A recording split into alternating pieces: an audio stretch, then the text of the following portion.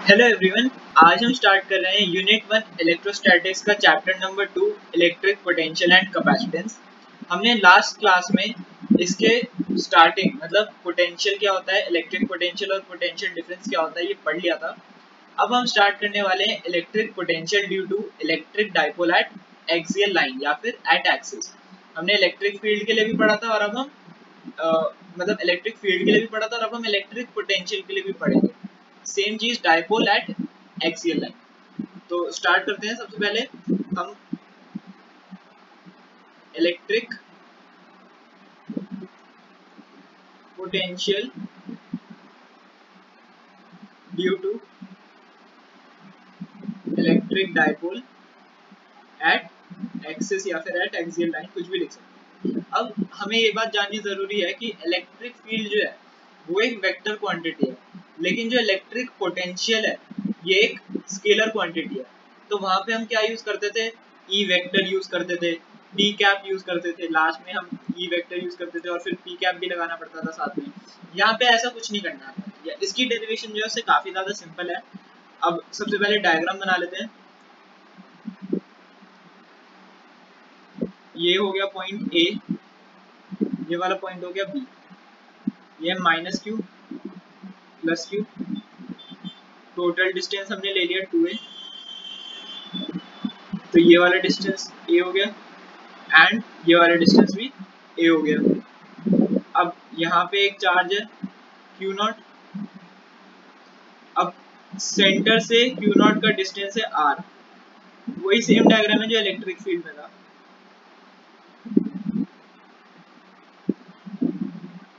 ठीक है? अब आगे देखते हैं।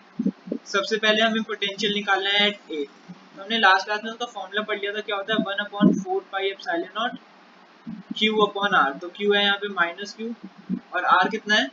मतलब डिस्टेंस कितना है? आर प्लस ए इस, इसका और इसके बीच का डिस्टेंस कितना है? आर प्लस ए सिमिलरली हम वी बी निकाल सकते हैं।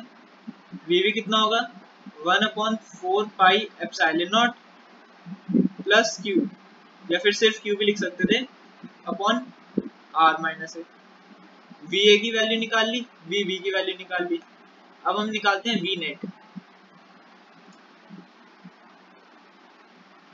वी नेट क्या होगा? V A plus V B that is अब इसमें क्या कॉमन है? Q upon four pi F naught अगर हम कॉमन ले लेते हैं तो अंदर क्या बचेगा? One upon R minus A minus one upon R plus A ये बचेगा, ये माइनस का साइन यहाँ पे आ जाएगा। अब आगे से सॉल्व करते हैं। Q upon four pi epsilon naught R plus A minus R plus A ये माइनस ये वाला माइनस ये वाला माइनस मिला के प्लस हो गया। Upon R minus A R plus A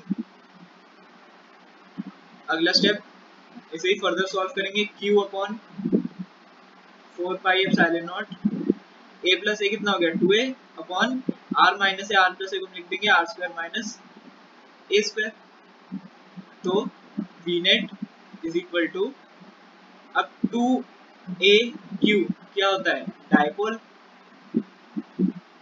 तो उसको हमने पी लिख दिया dipole moment four pi F naught R square minus ये हमारा बैठता है फॉर्मूला वी नेट का. एट एक्सिस और इसमें भी हम स्पेशल केस लेंगे जब ए टेंस टू ज़ीरो है। मतलब ideal dipole for ideal electric dipole two A tends to zero A tends to zero तो वी नेट कितना हो जाएगा?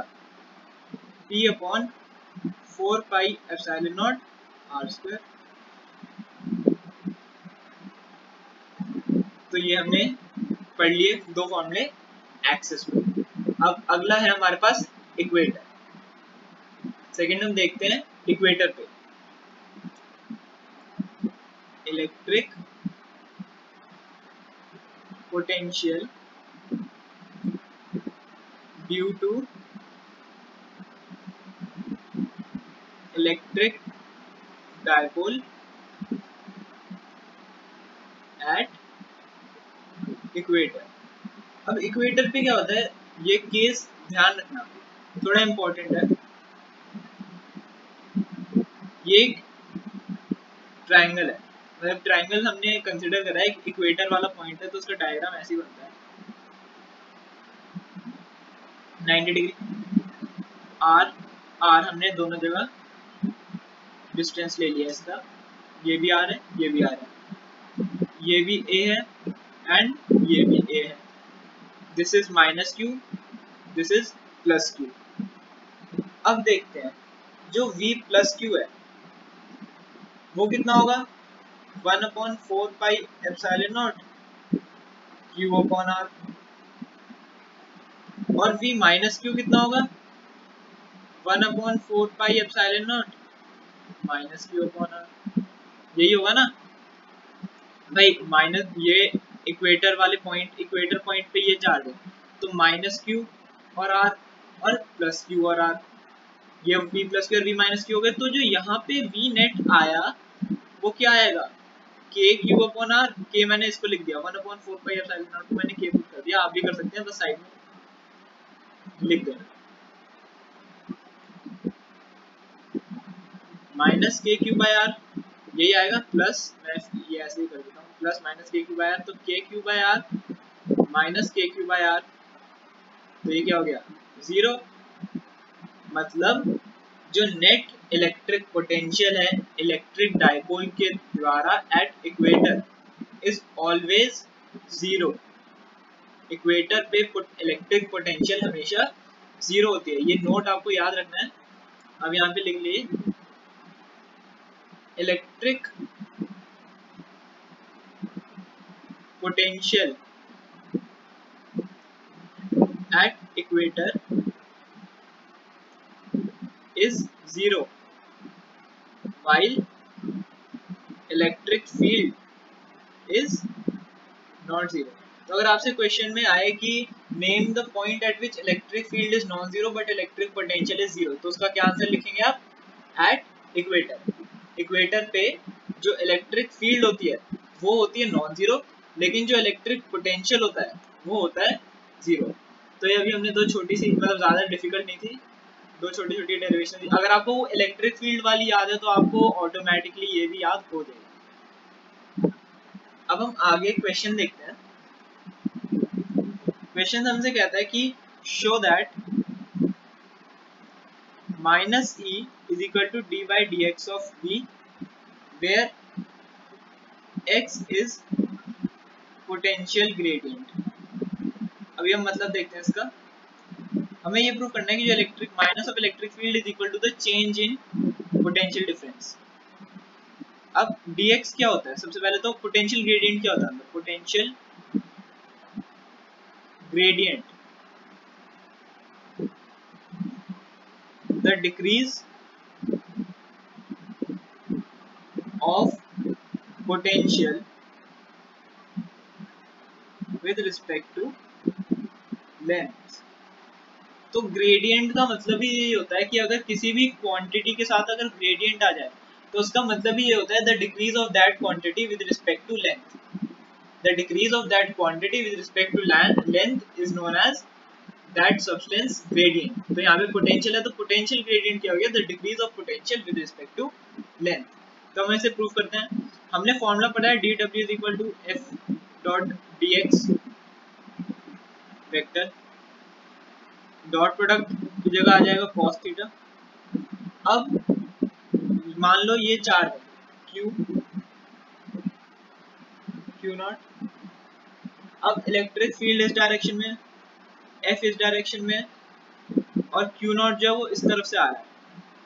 मतलब dx ये हो गया पोटेंशियल ग्रेडियंट dx हो गया क्यू नॉट इस तरफ़ से आ रहा है। अब इलेक्ट्रिक फ़ील्ड और इलेक्ट्रिक डायपोल के बीच में जो थीटा होता है, वो कितना होता है? दोनों अपोजिट डायरेक्शन है थीटा कितना होता है? 180 डिग्री तो डी डब्ल्यू को हम लिख सकते हैं माइनस एफ़ डी एक्स ये बात आपको समझ आ गई? अब हम एफ़ को क्या लिख सकते हैं? ई इंटू क्यू या Q not into E F जो होता है, वो क्यू नॉट इंटू ई होता है. तो D W is equal to क्या हो जाएगा? Minus Q not E D X ठीक है? अब इस क्यू नॉट को हम नीचे ले गए। तो D W upon Q not is equal to minus of अब डी डब्ल्यू अपॉन क्यू होता है? Work done upon charge that is equal to D हमने पढ़ा है ना? D is equal to W upon Q होता है। तो डी डब्ल्यू अपॉन क्यू जाएगा? स्मॉल वर्क के लिए स्मॉल पोटेंशियल तो dv तो dv to minus E D X therefore, minus e is equal to d by dx of v और यही चीज़ हमें प्रूफ है। हमने यहाँ पे वाला क्वेश्चन कर लिया अब हम आगे अगला टॉपिक जो हम पढ़ने वाले हैं, वो हम पढ़ेंगे electric potential due to charge ring at its axis अब ये सबसे इम्पोर्टेंट डेरिवेशन है इस पूरी यूनिट की। यूनिट की बोल रहा हूँ मतलब चैप्टर वन और चैप्टर टू दोनों की। मोस्ट इम्पोर्टेंट है और इसी को समझने में थोड़ी सी दिक्कत होती है, क्योंकि बाकी सारी डेरिवेशंस तो इजी सी सी बस इसको समझने में थोड़ा सा टाइम लग सकता है। तो देखते हैं सबसे पहले ये डेरिवेशन है कौन ये एक्चुअली एक डेरिवेशन नहीं है, एक क्वेश्चन की फॉर्म में आ जाता है। ये क्वेश्चन की फॉर्म में आता है calculate electric field due to charged ring at its axis. अब आपको इमेजिन करना है कि एक थ्री डायग्राम है, जो भी मैं बनाने वाला हूँ। और हमें इसमें कैलकुलेट क्या करना है? रिंग जो है, ये एक रिंग है, ऊपर देखना, ये एक रिंग है। तो उसका जो ये एक्सिस है, मान लो ये एक सर्कल है तो उसके बीच से जो लाइन निकलती है, अब हमने उसको टेढ़ा करते हैं। तो जो ये रिंग है, उसका जो एक्सिस है, उससे जो लाइन पास हो रही है, हमें उस पर इलेक्ट्रिक फ़ील्ड कैलकुलेट करना इलेक्ट्रिक फ़ील्ड पे है ये क्वेश्चन तो फ़र्स्ट चैप्टर से रिलेटेड है। अब प्रॉपर एक डायग्राम बनाते हैं। ये हो गई एक रिंग ये याद रखना थ्री डायग्राम है ये। मतलब ये वाला ये वाला जो सरफेस है, ये थोड़ा बाहर को निकल रहा है और ये वाला अंदर की तरफ़ अंदर की तरफ़ है। थ्री डायग्राम है, इसलिए आपको थोड़ा इमेजिन करके चलना पड़ेगा। अब हम यहाँ पे इसका एक्सेस ले लेते हैं। ये हो गया इसका एक्सिस अब इस पूरी रिंग के ऊपर पॉजिटिव चार्ज है। This ring has positive charge over its surface radius हमने इसका ले लिया ए ए इसका रेडियस ले लिया। अब इसकी स्मॉल लेंथ को ले लिया डीएल इसकी बहुत ही छोटी सी लेंथ को हमने ले लिया डीएल यहाँ से ये ऐसे जाएगा। सॉरी ये थोड़ा सा गलती होगी ये रिंग है। ये ऐसे और सिमिलरली ऐसे नीचे से। ये वाला जो डिस्टेंस है, ये हो गया आर और ये किस पॉइंट से डिस्टेंस है? जहाँ पे चार्ज है। जहाँ पे चार्ज है। तो यहाँ से इस तरफ़, ये डायग्राम याद रखिएगा। ये हो गया थीटा ये भी कितना हो गया? थीटा हो गया। ये डी सिमिलरली नीचे वाला भी डी अब यहाँ पे क्या हुआ? डी कॉस थीटा हुआ। ये वाला कंपोनेंट जब हम इसे कंपोनेंट में डिवाइड करेंगे तो देखे ना, ये भी डी कॉस थीटा ये भी डी कॉस थीटा ये डी साइन थीटा और ये भी डी साइन थीटा और इसी और ये जो लेंथ है, यहाँ से लेके यहाँ तक, इसको हमने ले लिया x तो आर स्क्वायर क्या हो गया? A square plus X square ये तो पाइथागोरस है अब हम फिगर से देख सकते हैं कि जो साइन थीटा कंपोनेंट है D E sine theta component will be cancelled out while D E cos theta component will be added तो नेट इलेक्ट्रिक फ़ील्ड कितना आ गया? ई नेट अब ये ऐड तो होंगे, लेकिन इसका मतलब ये नहीं कि हम इस यहाँ पे 2 डीई cos थीटा लिखेंगे. हम यहाँ पे सिर्फ़ डीई cos थीटा लिखेंगे बिकॉज़ हम जब इसका इंटीग्रेशन करेंगे ई नेट का, पूरे के लिए निकालना है ना हमें तो डी cos थीटा लिखेंगे, क्योंकि हम जो लिमिट ले रहे हैं वो ज़ीरो से टू पाई ए ले रहे हैं मतलब हम ऑलरेडी इसका इंटीग्रेशन पूरे से साथ कर रहे हैं तो हम सिर्फ़ इसकी एक वैल्यू लेंगे, दोनों वैल्यू नहीं लेंगे। अगर हम यहाँ पे टू डी कॉस थीटा लिखें तो लिख सकते हैं, ठीक है? लेकिन फिर यहाँ पे सिर्फ़ पाई ए बचे। तो हम क्या करते हैं, यहाँ पे टू नहीं लगाते इसको ऐसे लिमिट लेके चलते इसको हमने मान लिया x इक्वेशन x तो डी क्या होता है? k k यहाँ पे क्या है? One upon four pi F not k is equal to 1 upon 4 pi epsilon naught. ये आपको मेंशन करना ज़रूरी है कि के क्या लिया क्या है, क्योंकि नहीं तो के डाइलेक्ट्रिक कांस्टेंट को भी हम के ही बोलते हैं। और एज वी नो हमें पता है कि जो क्यू है, यहाँ पे डीई की वैल्यू है क्यू अपॉन आर स्क्वायर और क्यू की वैल्यू क्या होती है? D L upon two pi है। ये लिखेंगे। अब तो डी क्या बन जाएगा?